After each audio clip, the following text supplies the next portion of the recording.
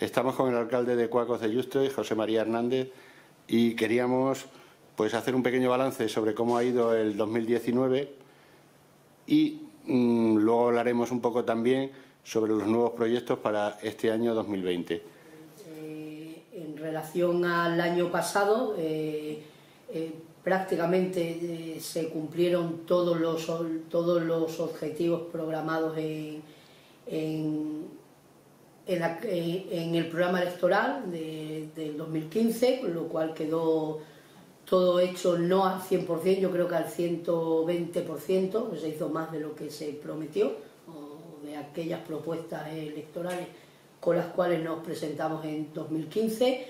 Y bueno, y el 2019 fue un año especialmente marcado por, las elecciones del 26 de mayo. Eh, en relación al año pasado, eh, eh, prácticamente se cumplieron todos los, todos los objetivos programados en, en, el programa electoral del 2015, con lo cual quedó todo hecho no al 100%, yo creo que al 120%, pues se hizo más de lo que se prometió, o de aquellas propuestas electorales con las cuales nos presentamos en 2015. Y bueno, y el 2010 19 fue un año especialmente marcado por, las elecciones del 26 de mayo, eh, que consigue un, techo histórico, un resultado electoral eh, nunca antes logrado por ningún partido político en el porcentaje. Los objetivos o los, o los proyectos para este nuevo año que hemos comenzado hace, hace medio mes Proyectos cruciales, cruciales, pues está eh, finalizar, avanzar y finalizar la, residencia para personas mayores, eh, adecuar el llamado paraje de las ollas, con una subvención de Adicover en este, en este caso, eh, es algo que se va a comenzar ya de inmediato, Luego también estamos ya adecuando el paraje del bañaero para crear una piscina natural, una auténtica piscina natural. Cuacos tiene una enorme belleza, tanto monumental como paisajística.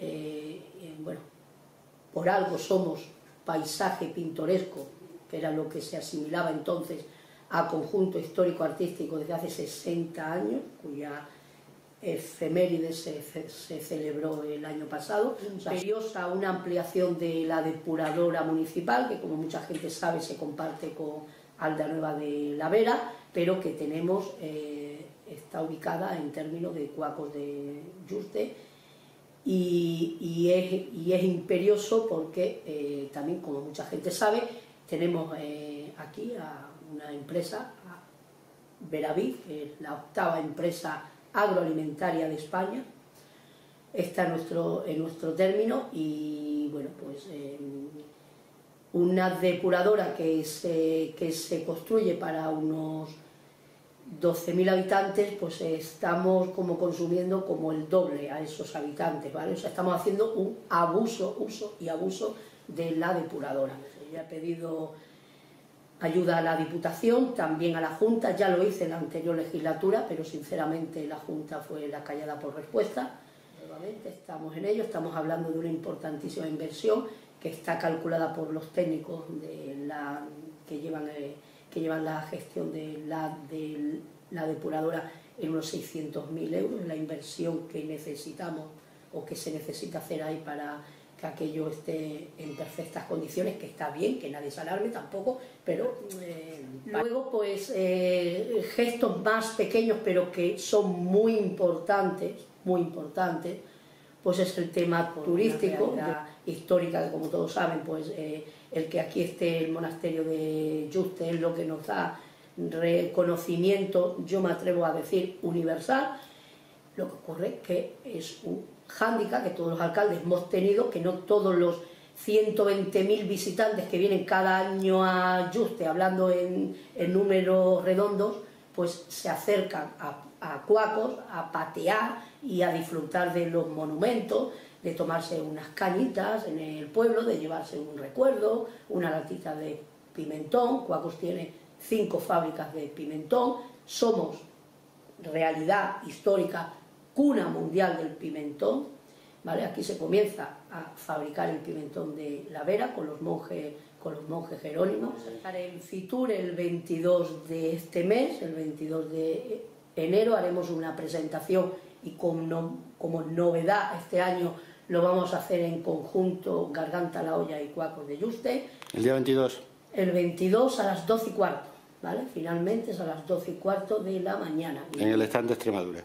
Eso es. Eh, este alcalde es también eh, tesorero de la red eh, europea de rutas de Carlos V, ¿no? Ha sido revalidado ese cargo hace poco. Eso es, en, la última asamblea general que se celebró en la localidad alemana de Mühlberg, no fue en Mühlberg, fue en una localidad cercana que se llama Finsterwalde, ¿vale? Pero bueno, oficialmente es Mühlberg la que pertenece a la red, tesorero de la red cultural de rutas del emperador Carlos V. Ya hemos quitado lo de europea, porque esta red ya se expande por tres continentes, Europa, África y América. Tiene una importancia crucial para, para, difundir la, historia de Cuacos y, nuestro, y nuestra figura fundamental sobre la que gira no solamente Cuacos, sino yo creo que todo el norte extremeño, que es la figura del emperador Carlos V, quien decidió, bendita, bendita decisión, venir a pasar sus últimos años de vida al monasterio de Yuste, eso lo hace en noviembre de 1556, que llega al, al castillo de los condes de Oropesa, en Jarandilla, pero unos meses después, el 3 de febrero, el día de San Blas de 1557, realiza ese último viaje desde el actual parador de turismo de Jarandilla al Real Monasterio de Yuste, cuando ya se habían acabado las, obras de lo que iba a ser su palacete. Esta nueva legislatura, como ha habido cambios y cambios importantes, eh, ¿Cuál es la relación actual de los distintos grupos políticos en el Ayuntamiento de Cuacos? Tenemos tres candidaturas, PP, PSOE y Vox. ¿vale? Vox no consigue nada, consigue nada más que 10 votos. Eh, o sea, no tienen ni siquiera representación en el Ayuntamiento de Cuacos. Y bueno, el PP consigue 5 concejales, se queda a 20 votos, 20 votos de un sexto concejal y el PSOE consigue dos ¿Qué tal son las relaciones con el resto de grupos políticos? Pues las relaciones con el PSOE son, van por temporada. ¿vale? Temporadas son mejores, otras son peores, pero he de confesar que desde que empezamos esta legislatura, desde que echó a andar la legislatura, no han hecho más que obstaculizar la labor del gobierno y complicarla bastante o sea, apoyo, tal y como la portavoz del Grupo Socialista dijo en su discurso, van a ayudar de una manera constructiva la labor del gobierno y de tal, pues bueno, pues están haciendo todo lo contrario, están haciendo en lo que digo, nada más que poner palos en las ruedas para complicar que el ayuntamiento continúe adelante. ¿Vale? Eh, bueno, pero también es verdad que hay temporadas mejores y temporadas peores, meses mejores y meses peores.